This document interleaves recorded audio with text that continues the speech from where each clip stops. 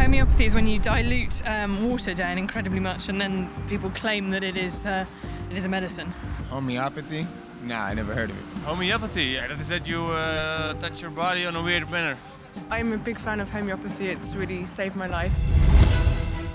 If you make an extraordinary claim, you have to have evidence to back that claim up. The homeopathic community has not provided that evidence. Homeopathy, there's no active ingredient left.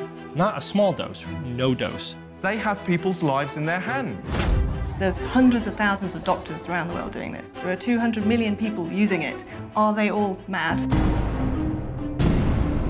It doesn't cure your symptoms. It acts as a catalyst for healing. Lucas. I knew he had autism. You're like staring into space. I saw a change from the first time I gave him remedy his eye contact came back.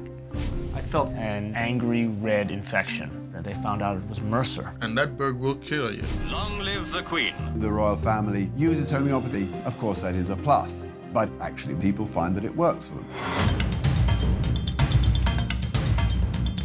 Homeopathy is under huge attack from a very highly organised anti-homeopathy lobby.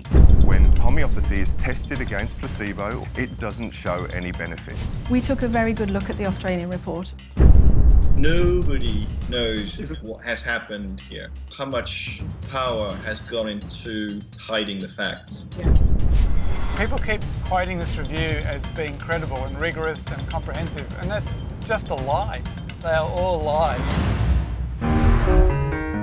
scientists from all over the world are presenting their latest findings.